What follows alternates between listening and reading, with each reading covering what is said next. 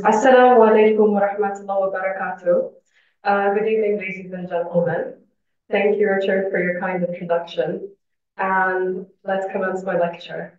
So, today we'll be talking about how modern science unravels the secrets of the ancient world. And the reason as to why I picked this lecture is because a few months ago, Scott and I were discussing potential lecture ideas. And I didn't want to be too far in the clouds with physics. And obviously, British Omani Society is revolved around cultural development and awareness between Britain and Oman. So without further ado, let's begin the lecture. So I thought the best way to start the lecture would be scaring the audience with a lot of probably very complicated physics equations. But I want to start off by saying this is not what physics is. Physics is asking fundamental questions like, why do I have a shadow? Why does the sun rise and set? Why do the planets revolve around the sun? And then we come up with all these complicated equations essentially to explain those ideas. And the problem is, when you think of physics, I do not want you to think of all of this. I want you to think of a question and the simplest way to answer. Usually the simplest way to answer a question is in a mathematical form because you have different kinds of mathematical relations with different variables and they're all changing. I hope I didn't lose you guys yet. okay. So, so our story starts off with, yeah, so our story starts off in um, ancient Greece during the times of Democritus and Aristotle. So Democritus was the first person that proposed the idea that matter, everything around us, was made of tiny indivisible particles. And although not a lot of his work is preserved, and we'll explore why later, Aristotle believed everything was made of fire, water, air, and earth. And he greatly discredited the work of Democritus for his initial atomic theory, actually. And And we had Aristotle come up with something called the Organon, which is the first scientific method essentially known to mankind. And it, I would say to us now, it's quite primitive because we've developed so much over the past two millennia. Um, Francis Bacon comes in, who was the Chancellor of the British Empire during James III, at James birth, and proposes a new scientific method called the novum organum. And he essentially uh, proposes a new scientific method. And this, I believe, was one of the things that actually sparked the Renaissance era and scientific enlightenment. It's also important to note that um, many of the scholars, researchers, and philosophers uh, from the times of ancient Greece up until probably the first millennia really, really, really stuck through with Aristotle I mean, the church, in Greece, uh, would call Aristotle the philosopher, not the Greek philosopher, not the most famous philosopher in ancient Greece, just the Greek philosopher.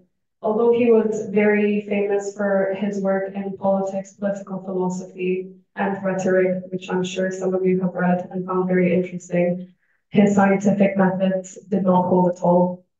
So we couldn't go on to So um, after Francis Bacon released um, Novum Organum and uh, we've catalyzed and revolutionized uh, the world with the Renaissance era, where we've made a lot of openings, for example, uh, the openings of Galileo Galilei, Johannes Kepler, and so forth. We start with John Dalton, who um, essentially the, discovered that things are made of atoms experimentally. Right? Yeah, okay. J.J. Thomson uh, made the discovery of the electron. Ernest Rutherford made the discovery of um, essentially that the electron was not morphed in with the uh, atomic nucleus. And James Chadwick discovered the neutron, Niels Bohr was one of the first people to propose a primitive model of the um, atom. Um, I think it was the slide actually. Okay, no, sorry. Uh, so John Dalton's experiment was, he was experimenting with nitric oxide and oxygen. And he had noticed um, that uh, nitric oxide reacted with an exact volume of oxygen. And then he had noticed that when he put more oxygen, it reacted with exactly twice the amount. And so he was like, okay, this is interesting. What does this mean, right? This is the scientific question. What does this mean? What can I deduce and conclude from my experiment? And he essentially says everything is made out of matter, everything is made out of um, chemical combinations of different types of atoms. And um, yeah, so for example, if you take a glass of water, I was thinking, do I have a glass of water here? No. So if you take a glass of water, um, it's made of dihydrogen oxide. So you have two um, atoms of hydrogen and you have one atom of oxygen.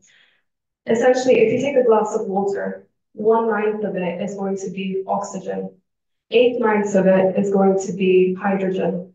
And no matter how much you divide through it, you're always going to have that relation. And I believe in chemistry, you call that stoichiometry. So, so that was the discovery of um, Dalton. We haven't had any uh, big discovery for over a century, actually, after his discovery of the atoms. And now we go to J.J. Thomson. And he was experimenting with a cathode ray tube. Uh, how many of you have done this in A-level physics? Yeah? So you, you understand a bit about it, right? Um, essentially, he uh, had a cathode ray going through here, and he had a very high voltage induced. And he had noticed, depending on the um, uh, voltage he applied on the system, the deflection changes. I actually conducted this experiment in first year. Um, so he concluded there is something that um, is not accounted for by the current uh, atomic theory, something that has a charge and it deflects depending on the voltage um, applied to the system. We now know this to be the electron. yeah, okay. Uh, so he also proposes a plum pudding uh, analogy where he, how many of you have tried plum pudding? so he essentially says the positive charges and negative charges are all morphed together into not a plum pudding but an atom.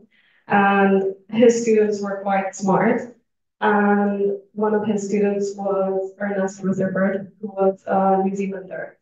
And he conducted an experiment where he placed a gold foil and a, fluorescent screen around it. And he essentially directed a um, alpha particle beam at the gold foil. And what he was expecting is that all of them would pass through and hit the screen over there.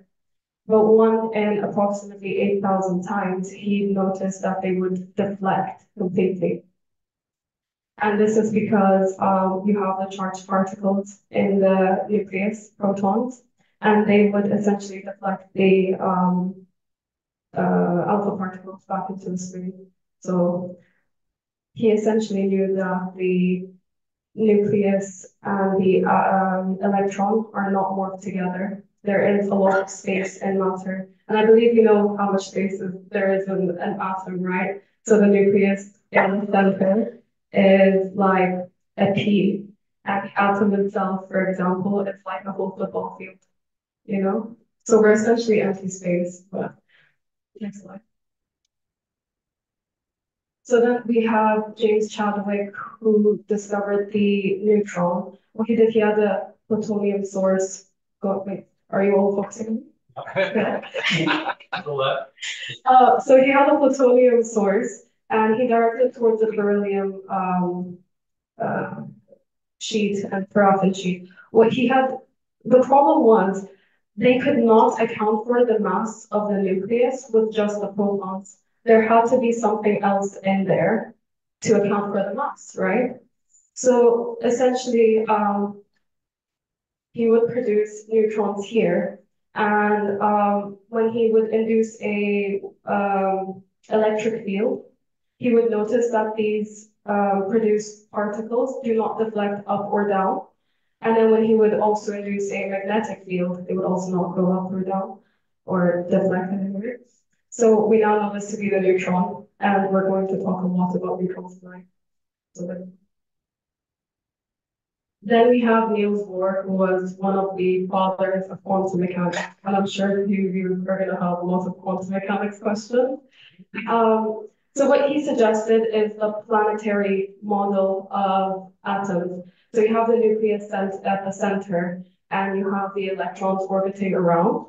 Although this is true for very simple atoms like hydrogen, it's not true for others. And for the physics fans here, this is because of Heisenberg's uncertainty principle, and you can't accurately predict the location and momentum of an electron at a specific point because of wave particle and all that.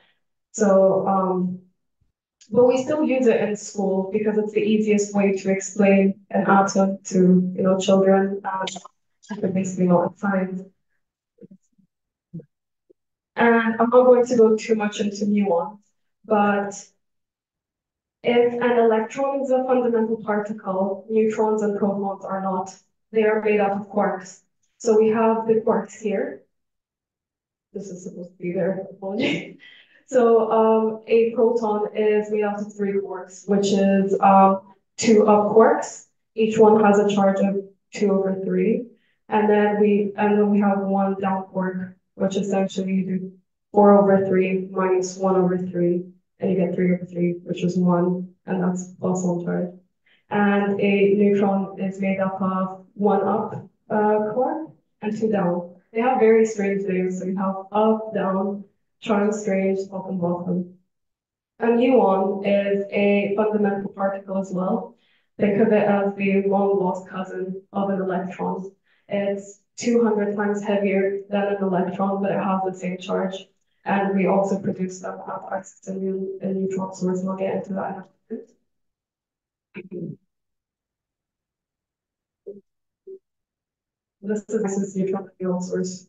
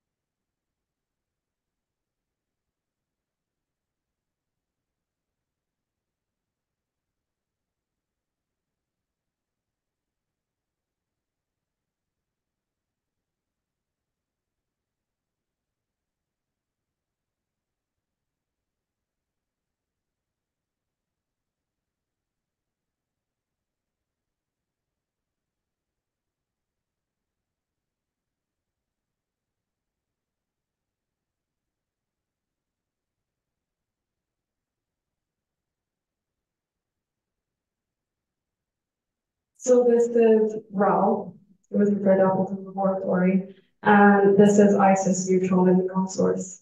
Uh, ISIS neutron and muon source was initially not a neutron or nuclear spallation source, but it became that in 1984.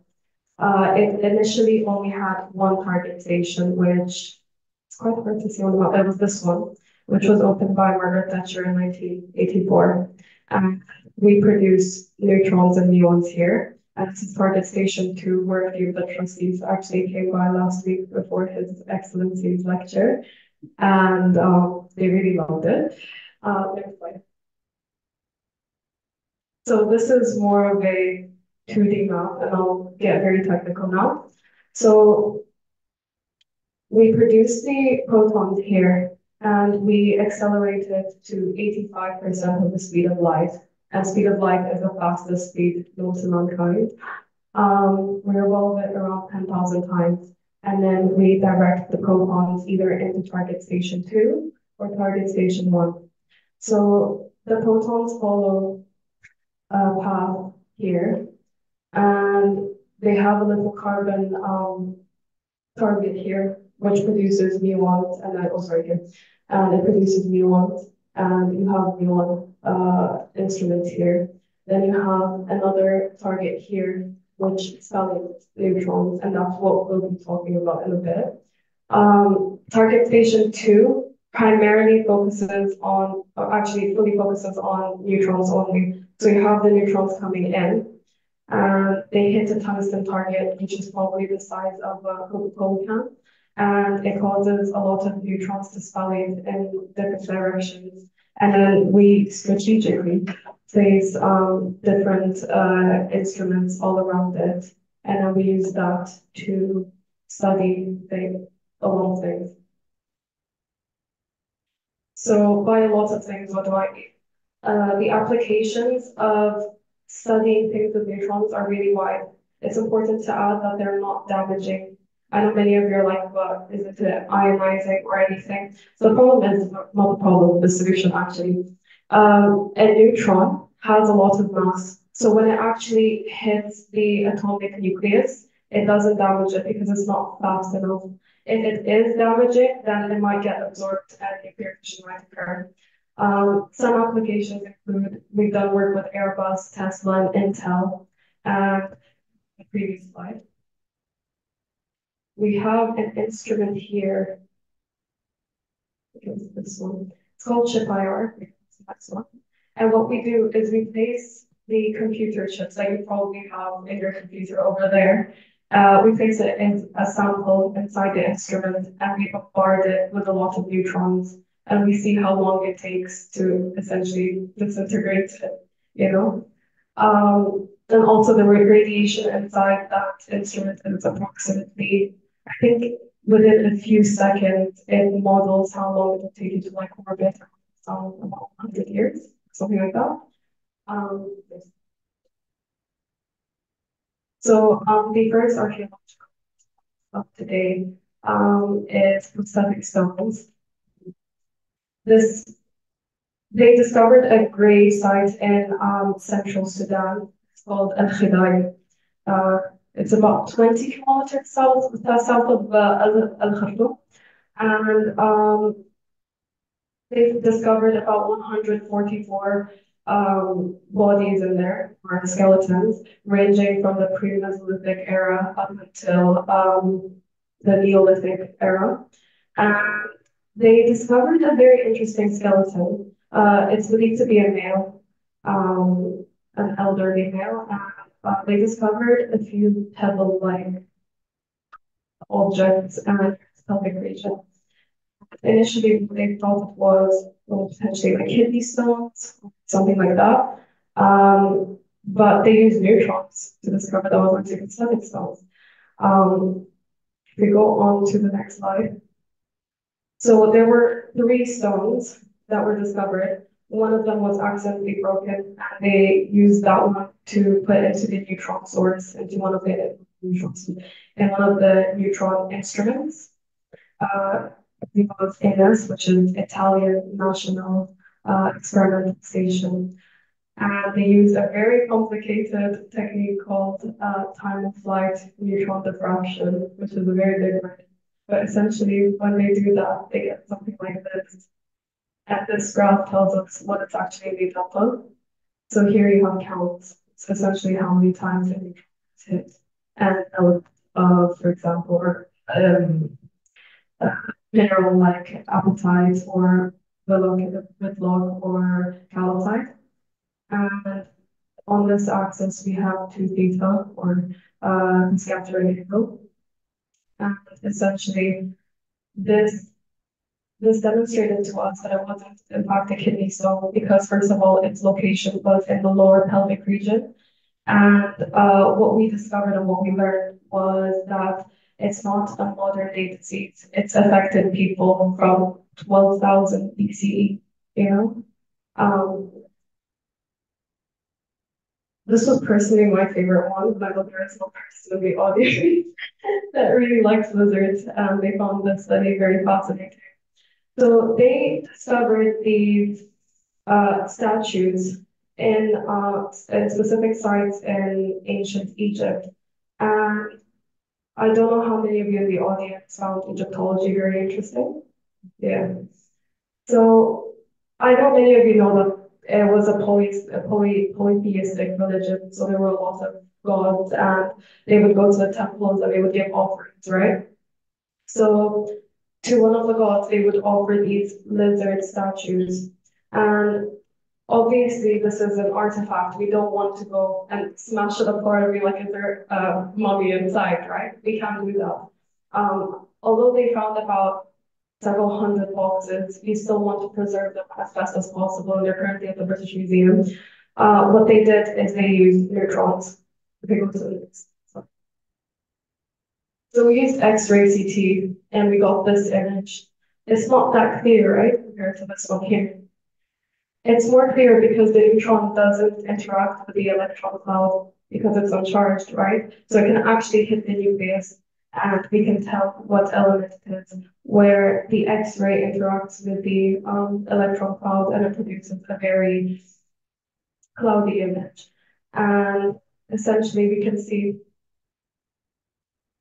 something in here, there's something in here. If we go the slide. So here's our X-ray scan. This is, by the way, they're lead boxes. Um, you can see there is some kind of like, you know, body in there. And we can see the corrosion here, for example, which would not be visible to the naked eye, obviously, if you don't break it apart, you know, smash it.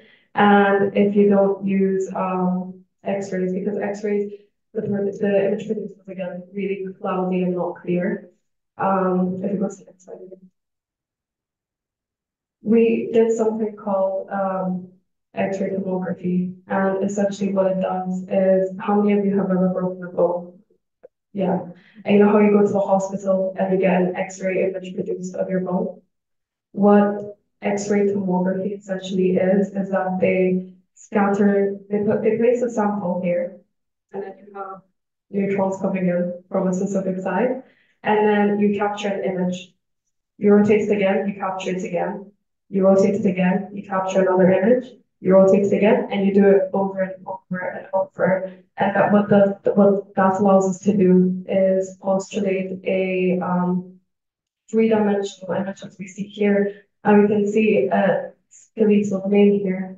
You know, so this in fact was a, a real um, offering, you know, because sometimes they would sell actually empty mummies uh, to people to go and give. So they would put stuff like peppers inside the mummy and people would still go and offer it and they wouldn't know that it's empty. So basically we can tell with physics who got scammed with it.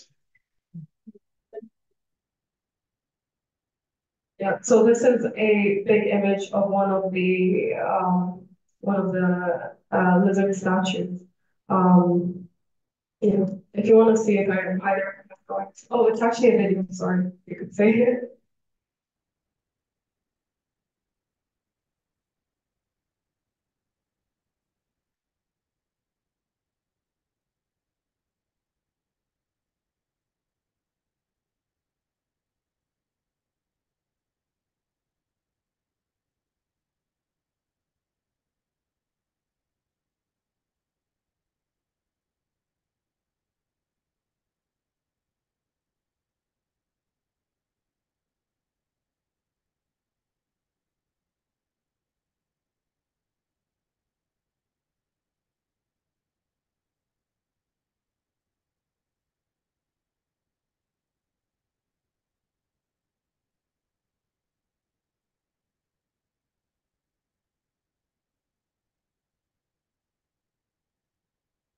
Was that awesome? so this is what we do with trials. Um, if you want to watch it again.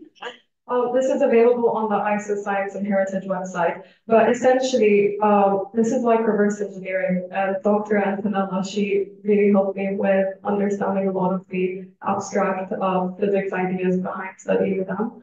Uh, she said this is reverse engineering. People put it together maybe 5,000 years ago 12,000 years ago, 500 years ago. And then what they do is they use these neutrons and muons and they manage to see inside it, you know? It's something so fascinating and extraordinary, you know? It's like, essentially, if you want to go to eBay and buy like a mystery box, you can just send it to ISIS Neutral and go to actually see what's inside it without opening.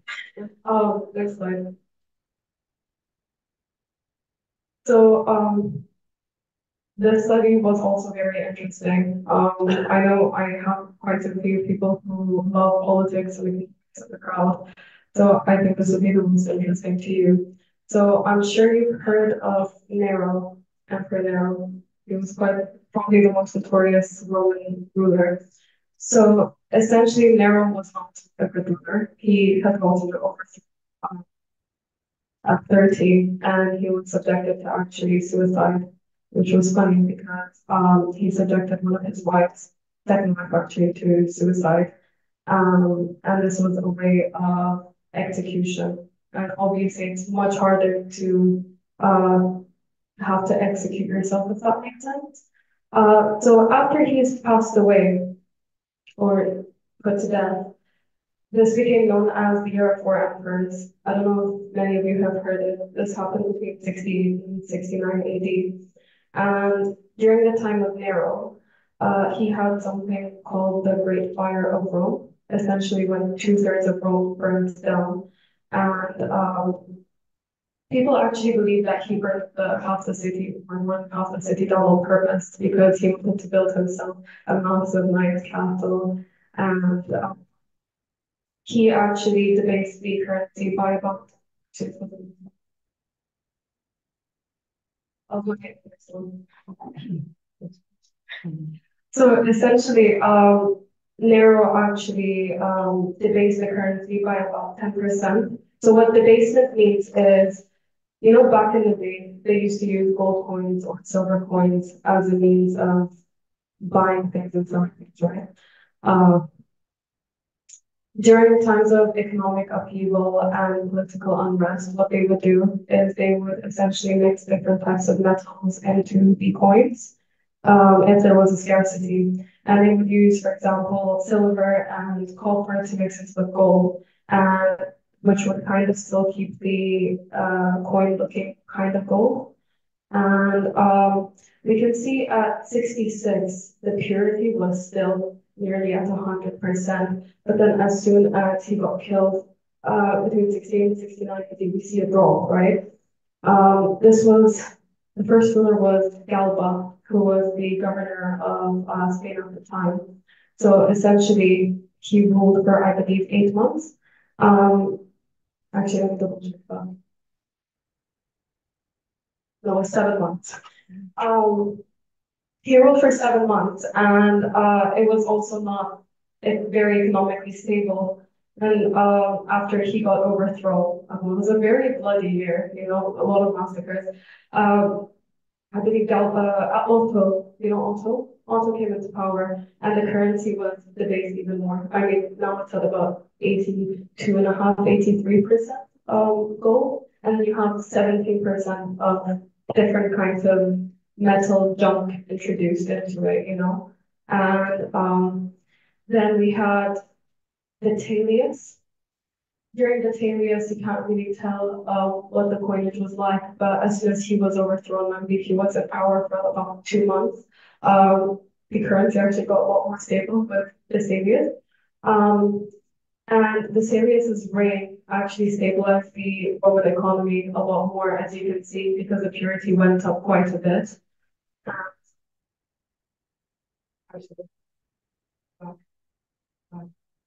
So essentially what this is, is you know how I was talking about how we produce muons. These muons are used to study um, coins. And uh, if the coin was about one millimeter thick, the muon managed to penetrate it at about 0.4 millimeters, which is quite a lot. Um, I was talking to uh, one of the people in the audience yesterday, and he said that's only 40%. And then I said, I need you to flip it over again you actually get about 80%, which is, you know, a decent amount to cover. Essentially, the way uh, muons work is they cascade from uh, orbit to orbit until they hit the nucleus. When they hit the nucleus, they release an X-ray. Uh, these X-rays all have different energies. Some are more energetic, some are less energetic. Depending on how powerful the X-ray is, we can determine which um, element it is without again having to take apart the coin.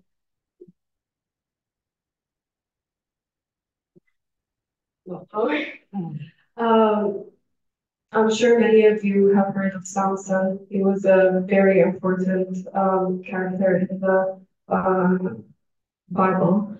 And um, there was actually a big statue, but this is the statuette that was constructed by um, uh, the nephew of Da Vinci. And so we have two different images here. We have a neutron radiography and an X-ray radiography. We can tell with the X-ray radiography, we can tell the defects more. But the advantage of neutrons is we can see what repairs were actually done on it, you know, and what material to use. So yeah, these are the um, artifacts I chose to study for today. Um, I want to answer a lot of questions. I want to extend a thank you to these people who have really, really helped me uh, understand physics, helped me with PowerPoint, and helped me with a lot of the images for today's talk. And yeah, I'd love to answer questions now.